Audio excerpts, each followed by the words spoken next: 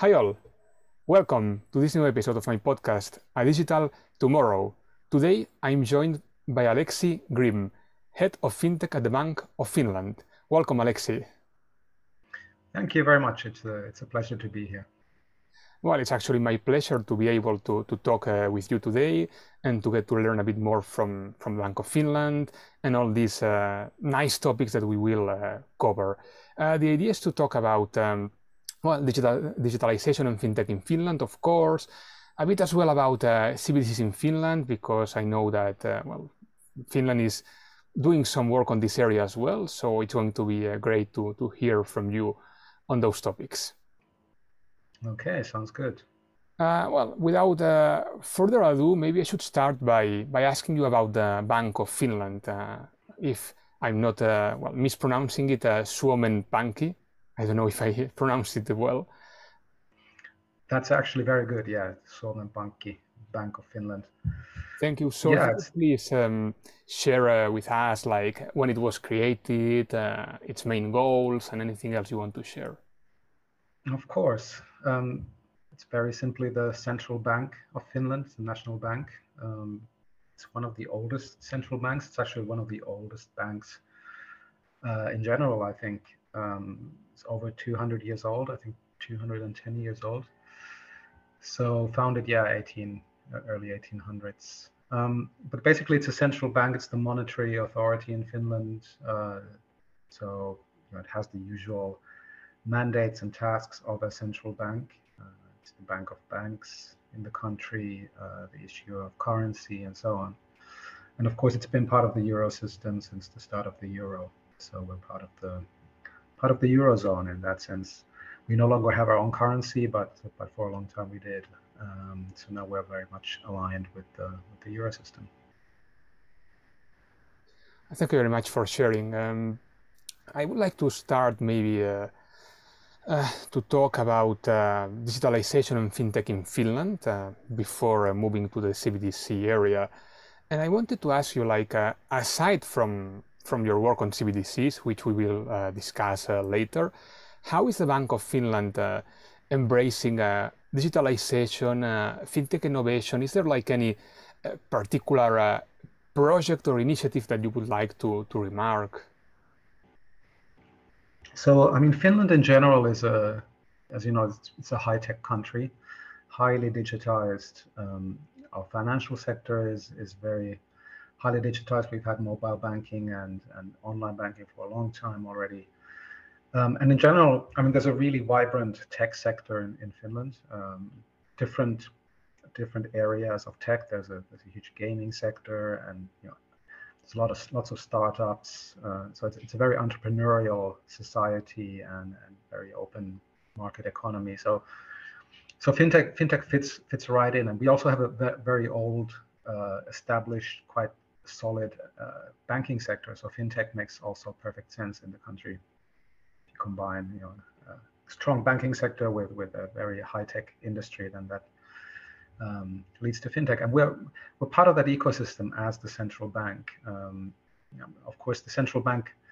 Uh, cannot have a, a, very direct role in creating fintech uh, solutions or, or, or, products, but uh, we're quite closely engaged with some of the companies here and try to help them and cooperate. Um, it's also nice because it's a relatively small country, so people know each other and companies, you know, all work together. So, so it, it's it's a really nice environment for for that kind of industry. Is there any particular project I would highlight? Um, well, maybe not one particular project, but um, as the central bank, we we both try to help with the ecosystem development, but then also use some of the best technologies around.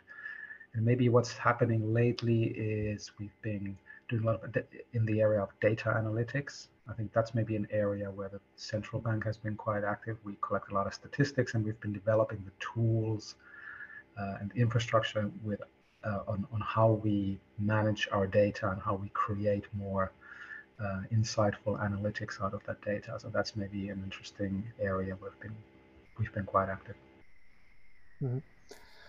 Uh, well, you, you mentioned now uh, a bit about uh, the fintech industry in, in Finland. Uh, you mentioned as well that uh, despite being a small country, it's a very high-tech country. So, um, to sum up this part, um, what advantages, or, or, maybe I should say, what strengths and opportunities do you think that the fintech uh, industry in Finland uh, has to offer? Well, one one thing is that um, we are developing fintech in Finland as an ecosystem. Uh, so I, I, know that early uh, when fintech um, was emerging, there was discussion on, on whether fintech will disrupt the banking sector or will compete with the banking sector. So I think from the beginning on in Finland, um, we've seen fintech as a, a, kind of ecosystem where old banks and incumbents work together with smaller companies and, and market entrants. I think that model has worked really well. So a lot of the innovation comes from smaller companies, but they, they work together with some of the larger incumbent banks, uh, who in turn can provide, for example, some of the infrastructure and some of the account uh, systems, for example, payment systems and so on. Mm so I think that kind of cooperation works really well um, and, and has really helped to, to, to grow the industry in Finland.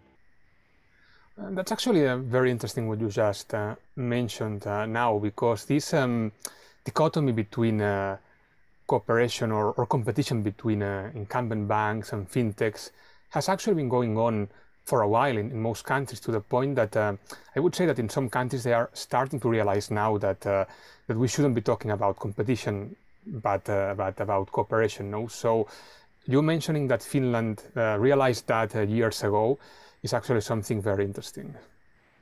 Yeah, I think it has to do with also the fact that um, so our, our, banking sector is already doing quite a lot in, in in the area of digitization and digital services, and people maybe were thinking that nothing's really broken in the system, so there's nothing really um, fundamentally broken that needs to be fixed by fintech. I think we always saw fintech more as a as an enabler of, of new things and you know, bringing better services to clients, not so much the kind of competitive. Um, that there wasn't there was never really that that strong of a competitive um, feeling there. Mm-hmm. Well, I mean, good for you. I mean, I think that's that's the right approach, and it's nice to hear that you um, well, that you realized that uh, much before others did.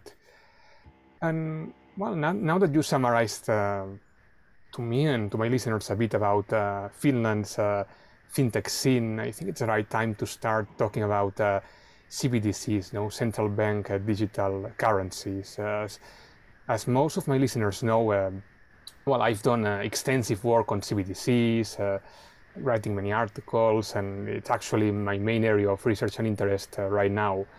Um, so I wanted to ask you, uh, given that, as you said before, um, Finland is part of the eurozone and Finland uses the euro, um, has Finland done any tests on the digital euro? And if so, uh, what results uh, did you obtain? So if we talk about digital euro specifically, um, we haven't done any um, sort of technical level or practical level testing. We started to research the topic quite early, already I think five years ago, um, and we've done. Um, we've, well, for example, we've done a, a, hackathon where we kind of on paper tried to solve some of the questions related to the digital euro. Uh, well, the digital euro project wasn't hasn't wasn't started yet at the time, so this was about three years ago. Um, so we were more thinking in terms of CBDC in the eurozone. Um, what, what sort of questions would arise and how would we solve them. Uh, so we, we kind of did a paper simulation, if you will. Um, so we didn't actually build anything, but we had a, a, a, large group of people. So we had about 10 people who um, met a few times in workshops for, for a whole day and tried to solve different questions related to uh, CBDC in the context of, of the euro area.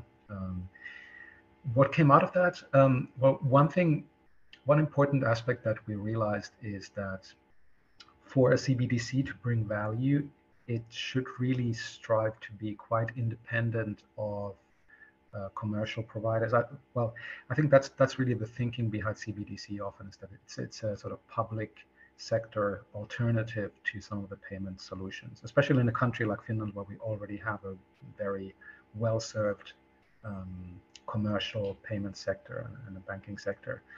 So it might you know, act as a sort of alternative which is provided by the public sector. In that sense, uh, it would imply that a lot of the infrastructure and a lot of the components of that uh, service need to be created from scratch. Uh, so that's that's quite of a big undertaking if um, you know if, if, we would go go in that direction. Um, so otherwise, there would always remain that kind of lock in with some of the commercial providers, uh, which is maybe not really what CBDC is is all about.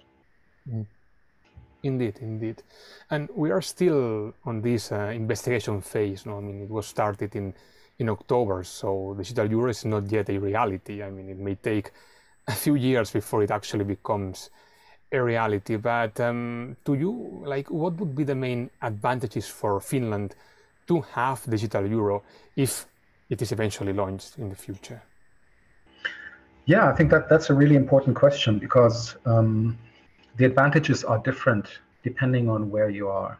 Uh, the Eurozone, the Euro area is quite a large, diverse region. Uh, and you know, the services, the financial services, the payment landscape looks very different in different parts of the Eurozone.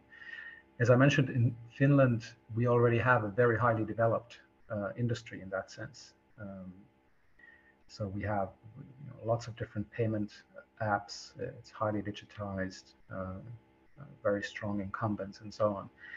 So what would be the advantage of bringing another another alternative there? So I think I think the main alternative would be basically resilience.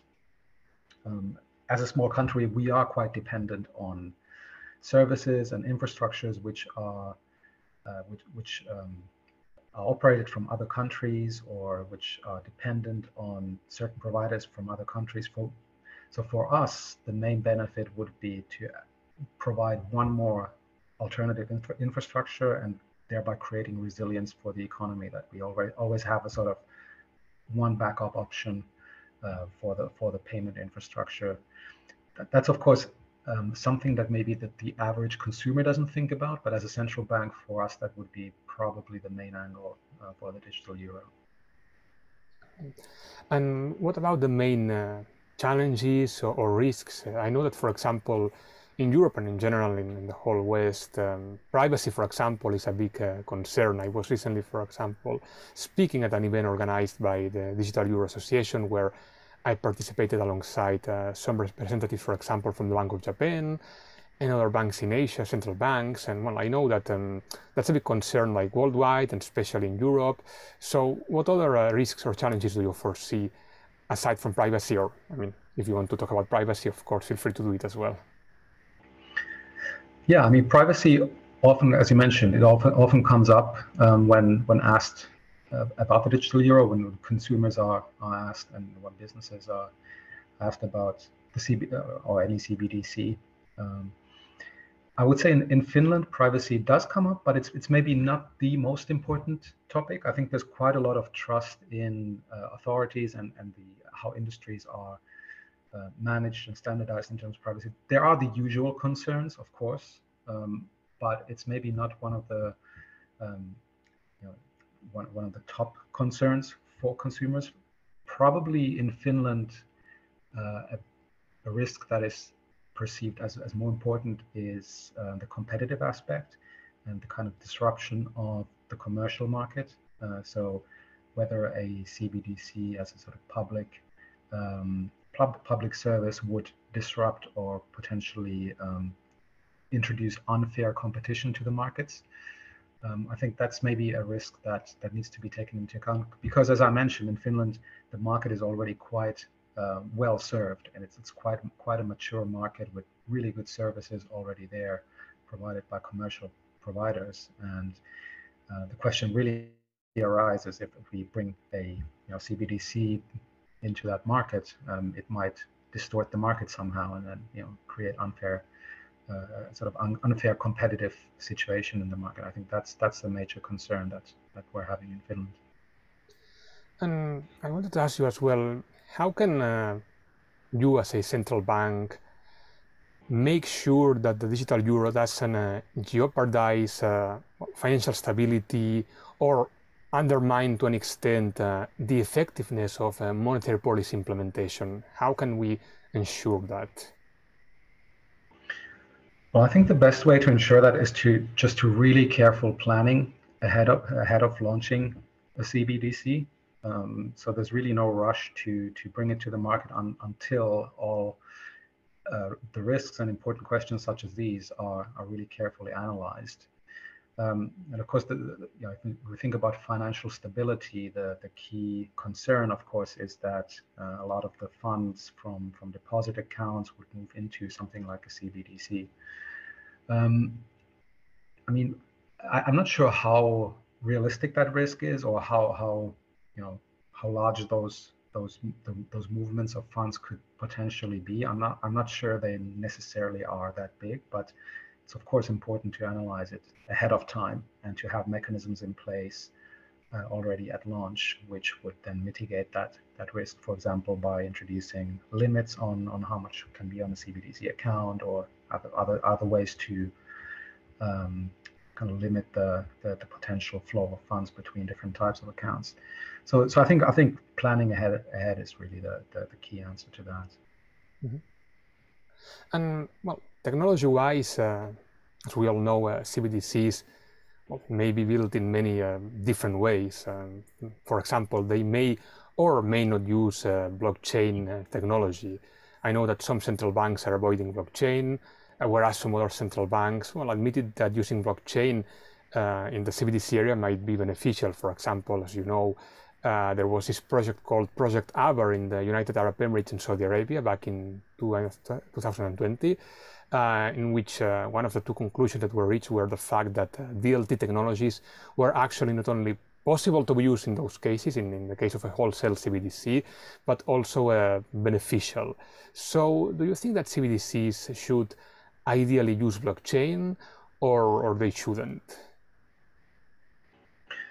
So, I mean, in the Eurozone, we are mainly looking at retail CBDC. Um, so, in that context, um, it's difficult for me to see uh, a reason to use DLT or blockchain.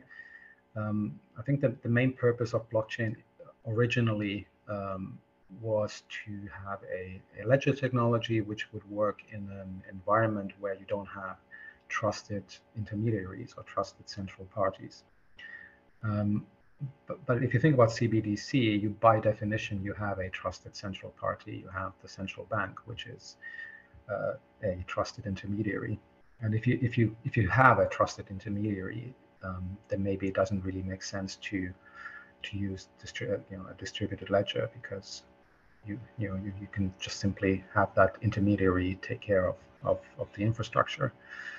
Um, so I think it, it, you know, if you think about it that way, uh, in that sort of context, um, I think blockchain is maybe not really ideal in a retail CBDC setting. You know, maybe in some other, uh, you know, with, with other assumptions, other premises, but um, looking at from our point of view, um, it, it probably doesn't make sense. Thank you. Thank you for sharing. And there is one more question that many people ask, uh, which is uh, What's the world's uh, first uh, CBDC? Because I mean, we all know that China launched digital yuan, so that's why, well, many people, including myself, say that uh, maybe the world's first uh, major economy in launching a CBDC was China, but then there was the Sand Dollar in, in the Bahamas back in 2020, 2020. Uh, but before that, there were some projects as well. There was, for example, uh, this Dinero Electronico project in Ecuador. And then uh, it was you in Finland, no? In the 1990s, you created uh, the Avant Smart Card uh, system, which uh, could be actually considered as maybe the world's first CBDC and, and, the only one that that went into production and it was many years before uh, we talked about digital yuan or the sand dollar. So uh, I know that you wrote articles about this topic as well. So could you please summarize what uh, this project Avant uh, was, why it was relevant, and why eventually you, you shut it down? Yeah, yeah, my pleasure. So yeah, so this happened a long time ago. So I wasn't in the central bank, or I wasn't even you know working then yet. I was in university at the time, but um, so this was in the 90s, early 90s, and Bank of Finland developed and uh, and launched a, a an e-money product, uh, basically a, a, a, smart card where you could um, pre-fund the card, sort of a uh, prepaid payment card. And this became a, a, widely known concept. I think there were similar products, similar cards in different markets uh, during the 90s and early 2000s. Um, and it became you know, widely known as, as electronic money. And of course, electronic money has since developed into more account-based systems, but, but the first uh, types of e-money products uh, in the 90s were, were these kinds of smart cards. The Bank of Finland uh, also developed one, and it was actually one of the very first ones. Uh, so they already started developing it in the late 1980s, and it was launched in 1993. Um, and, but of course, back then we didn't talk about CBDC, although the term digital currency was already used, but e-money was you know, more popular as a, as a term as, as, in terms of uh, the word used for that, that product. So, so I did a bit of research on that a couple of years ago. Uh, it had already, it had almost been forgotten that whole project. Um, so I, I, I, managed to find some information in our archives um, about that project, and it's really interesting because many of the same questions that we're now asking about CBDC, for example, the financial stability questions, will people move their deposits into these kinds of products? They were already discussed back then in exactly the same terms, and um, the product really wasn't that different. Um, even today, uh, a lot of the CBDC projects uh, envision some type of prepaid payment instrument, maybe a card or maybe a mobile phone where you can um, store uh, money on, on the device itself as an alternative to, a, to an account-based system. And that's exactly the kind of system that the Avant was. So how that story ended is that um, after three years, the central bank uh, came to the conclusion that it's better to leave it to the commercial sector to, to provide this service. So they sold the business to the commercial banks, a consortium of commercial banks. And these commercial banks, retail banks, they um, offered it as an you know as a product among their other products. So the bank customers of these commercial banks had the alternative to you know, use debit cards, credit cards, or this kind of prepaid e-money card. And the prepaid e-money card just wasn't very popular. It was more difficult to use. I think the, the fact that you had to always pre-fund it before you could pay with it uh, was a, as a major usability impediment. Uh, so it was not very not very convenient to use. So it, it was just simply easier to use debit cards. And over time, uh, the, the e-money card was used less and less, and it basically faded out and was uh, eventually discontinued entirely. So I think it, it, it, became a question of this kind of prepaid logic versus um, uh, a debit logic where you debit a, a, bank account directly. And of course, the technology has advanced so that debit cards and this kind of debit-based um, products have become cheaper and they've become more user-friendly. So maybe um, they, you know, they became more popular than, than these kinds of prepaid prepaid products. And yeah, that, that's basically the end of story for Avant. Yes. I mean, well, even though this was uh, discontinued and even though it wasn't called a CBDC back then, but e-money, as you said, I think it's interesting to see that the Bank of Finland was already working on something similar, something that raised the same uh, questions like almost uh, 30 years ago. It's quite interesting to see that. Yeah, exactly. Yeah, that's that's something. That's one of the key lessons I I try to bring up is that this whole CBDC idea is actually not that new. Um, if you think about it, it's quite logical. Um, so when the you know internet started to becoming popular and we had more and more digital products, uh, we started talking about e-commerce and so on. Um, qu quite quickly, people realized it would be really nice to have money on the internet, like digital money, which you could just pay around. Um, and the idea of CBDC is the same, or any digital currency project is the same. You know, how to put money on a on the internet, how to put money on a digital device, how to digitize money. And if you put it that way, then that question was already discovered 30 years ago and you know, thoroughly researched. And then it kind of went away for a while and re-emerged maybe five, ten years ago. Mm -hmm. And well, one of the key areas of uh, is, uh, especially when it comes to to their potential cross-border use is interoperability, you know, interoperability between different CBDCs. I mean, we are not there yet because very few countries have actually launched their own CBDCs. But ideally, if, um, if things continue going on like this, uh, we'll face the situation in a few years from now. So, uh, do you think we'll actually see uh, an interoperability between different CBDCs in the future? And if so, uh, how do you think we'll get there?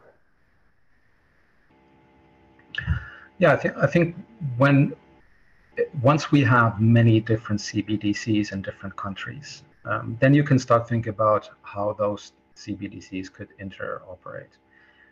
But until we have even one, I think we're getting maybe a little bit of ahead of us if we start thinking about interoperability. I mean, that time will come, but of course we need to take one step at a time. Um, and in my mind, really the first step is to make a CBDC work in one country first. And we know that payments, if we think about retail payments, um, you know, the vast majority of retail payments uh, take place within one jurisdiction. Um, so compared to cross-border payments, it's it's uh, much much more important in that sense. So it's probably the first step to make CBDCs work in, in one country first and then another country. And, and once we get to the step where several countries have their own CBDCs, I think there's, you know, then, then it's maybe the time to look at how to make cross-border work. Um, but I would I would rather take one step at a time and, and not get get ahead of ourselves by thinking too much about the cross-border case right now. It makes perfect sense. I mean, we're talking about a scenario that will maybe materialize in, in many years from now, so it makes a perfect sense your approach. There is though one one area, one one product which is um, by its very own nature uh, global, and that area is uh, that product is cryptocurrencies. I mean, well, we all know that uh, cryptocurrencies have been there for a while, but they've become much more mainstream these last um, two years, uh, one year and a half because we saw many institutional investors starting to tap into this market. So I wanted to ask you, I mean, like given the fact that uh, CBDCs are not cryptocurrencies because of many different reasons, uh, one of them being the fact that CBDCs are issued by a central bank, whereas cryptocurrencies are, uh, well, as like uh, decentralized as, as it, they can be. Um, could you please uh, let my listeners know what's the, the, Bank of Finland's view on cryptocurrencies? Um, how do you approach them? I think we approach them very, you know, the way you described them. Um, so, despite the name, we don't really see them as currencies. Um, I mean, they are really how people use them, and, and, the way people use them is more as I don't know if investment is really the right word, but you know, they use them for trading at least. You know, trading, um, maybe almost like a gaming or gambling type of product. So they are a type of uh, service which is, a, I would say, a category of its own. It's not really comparable to official currencies or, or other financial products. It's a category of its own. Um, so the primary use case is um, trading, I would say. And, and of course, the, I mean, te- the technology and the product um, allows you to also use it as a payment instrument, but that's not really how people use it very much. Um, so um, until you know people really start using it uh, as, a, as a payment instrument on a wide on a wider scale, uh, it, it's less interesting. Um, so as, as if it's just something that is being traded on on exchange type services, then um, we observe it, we kind of monitor the development, but uh, it isn't directly re uh, related to the kinds of um, the kinds of businesses that we are interested in, which are mainly payment payment based.